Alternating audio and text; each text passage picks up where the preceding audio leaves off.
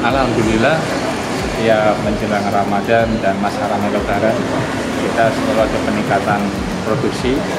Kalau di hari biasa berapa dan pas Iya, Ramadan ini rata-rata berapa? di hari biasa itu kurang lebih 2 ton. Jadi kemungkinan kalau kita mengaku ya 6 ton gitu.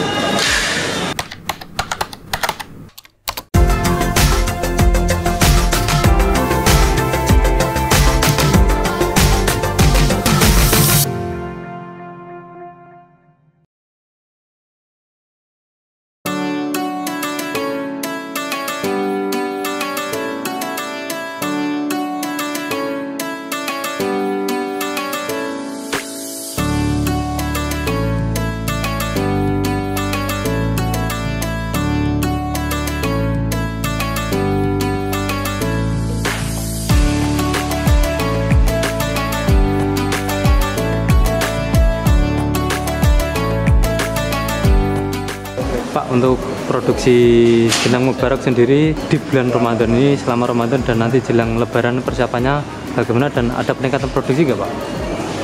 Alhamdulillah ya menjelang Ramadan dan masa ramai Lebaran kita selalu ada peningkatan produksi karena produk kami Jenang Kudus Mubarok itu identik dengan oleh-oleh khas daerah sehingga orang berkunjung eh, pulang kampung di Kudus ingin membawakan buatangan oleh-oleh berupa jenang.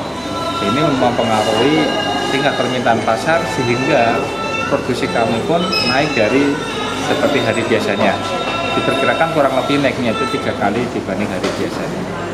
Kalau di hari biasa berapa dan pas Iya, Ramadan ini rata-rata berapa? di hari biasa itu kurang lebih 2 ton. Jadi kemungkinan kalau kita mengaku ya 6 ton gitu. Meningkatnya produksi itu dilakukan sejak kapan Pak biasanya Pak? Iya, ya dua pekan sebelum Ramadan kita sudah mempersiapkan produksi perdana untuk persiapan kebutuhan masa rame dari pengadaan bahan baku, packaging dan sebagainya, terutama juga sumber daya manusianya kita juga menambahkan tenaga ekstra tambahan. Oh, Biasanya istilahnya tenaga pojok. Untuk rasanya Pak ada rasa apa Pak? Iya, kalau kami punya varian rasa cukup banyak di antara varian rasa tersebut yang familiar, yang banyak dicari orang atau bestsellernya yaitu yang jenang rasa kombinasi tiga rasa rasa mocha nangka durian juga ada rasa mocha sendiri mocha wijen selain itu ada jenang yang mereknya legendaris yaitu Cina 33 yang kemasannya kertas putih itu jadi merek legendaris kami atau lebih orang familiar disebut jenang papahan itu berbagai varian dan kita ada inovasi produk olahan jenang. Ada jenang dengan brownies dengan kapia jenang ada cookies jenang atau jenkis dengan cookies.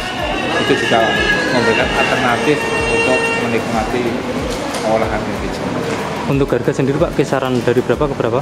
harga kami masih relatif terjangkau ya. Eh, mungkin kita ada penyesuaian harga karena akan banyak faktor bahan baku yang mengalami kenaikan tapi harga masih yang kita tawarkan dari 10.000 sampai 50.000 dan ada penawaran paket-paket khusus untuk kebutuhan di lebaran kita melayani penjualan parcel lebaran. Dan tahun ini lebaran kita tawarkan ada berupa hampers memadukan produk dengan souvenir semoga ini bisa memberi alternatif para pembeli atau pengunjung untuk menikmati uh, berbagai varian produk-produk dari Mubarak Food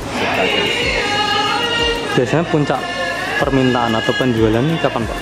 Ya puncaknya itu biasanya di hari 10 menjelang lebaran dan H plus 10 pas lebaran atau istilahnya uh, jadi kita menyambut adanya arus mudik dan adanya arus balik pasca lebarannya. Kalau di Kudus ada istilah kupatan, ya, kupat itu juga salah satu potensi tingkat permintaan lebih tinggi.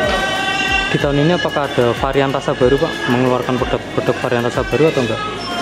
Iya, kalau yang kita tawarkan di tahun ini adalah dengan kemasan yang baru.